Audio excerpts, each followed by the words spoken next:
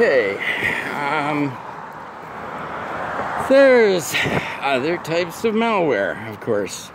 Um, now, I have, I have, mentioned the worm, uh, and again, you know, it's using network uh, transmission, it's using uh, uh standing uh, functions in the system, uh, sometimes referred to as daemons, um, to try and spread itself, and therefore it spreads faster than a virus, which relies on uh, user activity, even though the user activity may be a fairly common activity. Uh, computers are faster than people are, so worms are faster than viruses. Um, and then we get Trojan horses, which come in a variety of flavors. Uh, logic bombs, backdoors, and uh, we mentioned uh, backdoors. Um, uh, now, I mean, there's there's social engineering, and we're going to mention social engineering in many many ways. Um, it uh, it works in a lot of ways, and uh, you know, starting with uh, a Trojan horse, you know, basically they're lying to you. That's social engineering, fancy term for lying. Uh, they're uh, indicating somehow that there is some positive utility. It may be that they use the same name as an existing popular utility. Um, it may be that they advertise it. It, it may be, you know, there's all kinds of ways that they can uh, say, you know, this will do something good for you, and then instead it does something bad. Um, a, a logic bomb now this is this is more technical. Uh, again, it's uh, possibly uh, a payload that is uh, carried or spread by a virus or um, implanted by a uh, Trojan horse, but it can be something that somebody just programs into a system. Uh, and all kinds of legendary and and not so legendary. Some realistic, uh, real things that ended up in court cases. Um, Revlon, uh, one of their developers, uh, did something to a system that basically, you know, shut down their uh, computer accounting system that he was supposed to build for them because uh, he didn't think he'd been paid enough. Um, they didn't think they'd he'd done a good enough job.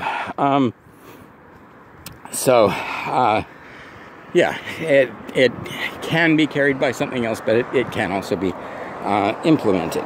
Um, uh, backdoors and trapdoors, we've we talked about that in the maintenance hook issue.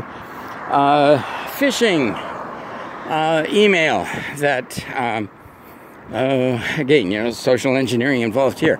Uh, they are saying in one way or another that there is something that is going to affect your credit card number or your bank account. Um, and so, you know, if if this is supposedly a charge that somebody has made, you want to uh, uh, dispute the charge. So, of course, the first thing they ask you is, you know, what's your credit card number? What's your account number? Well, that's what they wanted in the first place. So, yeah, phishing in in a variety of ways, shapes, and forms. And uh, it's not just your credit card account these days. Sometimes it's your email account uh, that they have decided that they can use for a variety of purpose. Um, remote access Trojans, uh, getting somebody to install something on their system that that permits access, gives them access to your computer, uh, which they can then use in a variety of different ways. They're, they're using your uh, computing resources. They're using your uh, your computer, your network access, your storage, all kinds of things that they can use as long as they can get access. Um, a data diddler. This is uh, it it used to be fairly uncommon. There were only a few examples.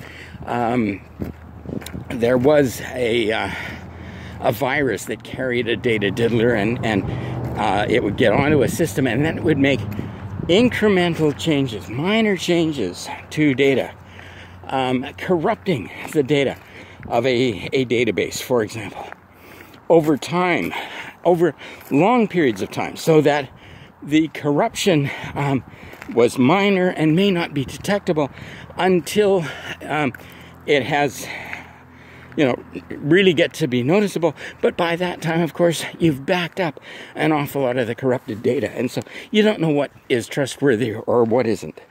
Um, and uh, recently, that has um, been used in ransomware situations uh, again. Um, so, uh, all kinds of uh, things there.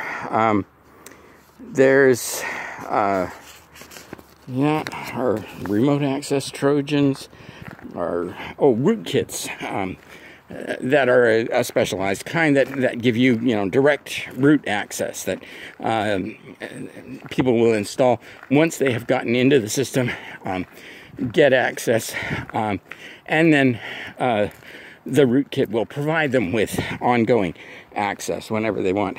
Uh, it's very interesting. Sometimes uh, the people who will do this and, and, gain access to a system will actually fix um, problems with your system uh, so that other people can't break in and they're the only ones who can actually misuse your system.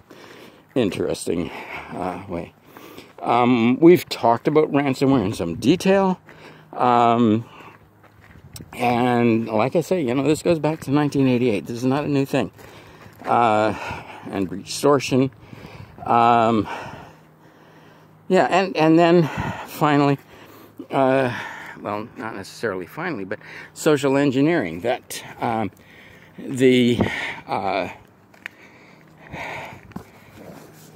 you know this is this is the way to uh, to get people. This is this is the way to uh, get access uh, to the systems, and and it's. Um, uh, often the, the easiest way. You know, you don't have to be uh, technically proficient uh, to gain access to a system. You just, you know, lie to people, um, uh, browbeat people, bully them, whatever you need to do, any kind of social uh, thing. Now, mind you, um, I, I've said, you know, social engineering is just basically lying.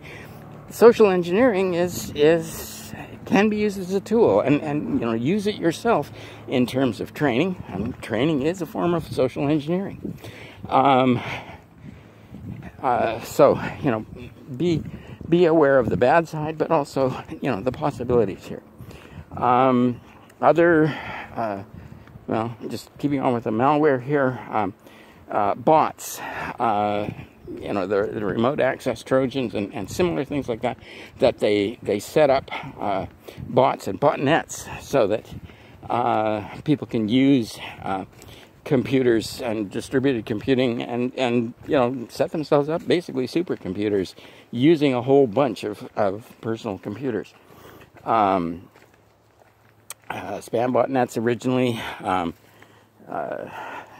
denial of service, and and distributed denial of service using uh, botnets to do that. So um, lots of lots and lots and lots of of malware out there and and uh, nasty uh, things that can be done with software. Basically, you know, anything you can do with a computer, you can do with with malware. So. Um, as I say, you know, you need to know the the possibilities. You need to know the the breadth of this. Uh, it's not um, uh, because of the the different ways of attack, the way to protect against them, uh, the types of attacks that they can mount. It, it becomes more important to know the different types and not less.